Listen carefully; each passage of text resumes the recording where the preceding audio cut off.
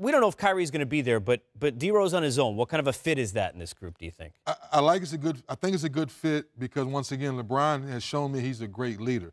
Now, D Rose, are you willing to go into the gym and work on your jump shot flat out? Because LeBron James has shown us now at the year with 13, right? He's not giving the ball up early in the shot clock. He'll give the ball up late in the shot clock. That's why Kyrie was so good because when hey Kyrie go save us, five, four, three, two, one, great shot by Kyrie.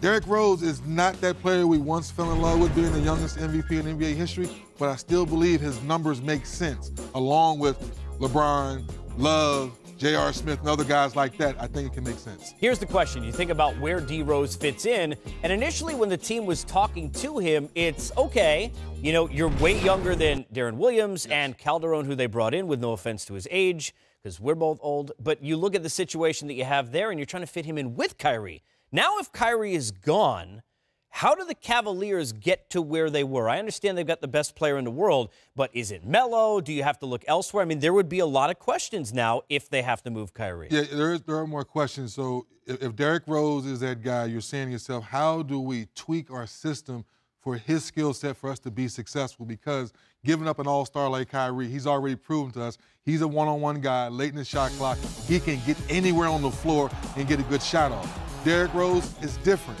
That puts more pressure on Ty Lue and his coaching staff to tweak the offense a little bit. And I think defensively, if Derrick Rose now his body's right, he's a better defender overnight than Kyrie was. So now defensively you get better, but offensively may lose a little bit because Kyrie's proven what he can get done. But once again, it all falls back on LeBron's leadership, getting D, D Rose into the system and making him feel comfortable.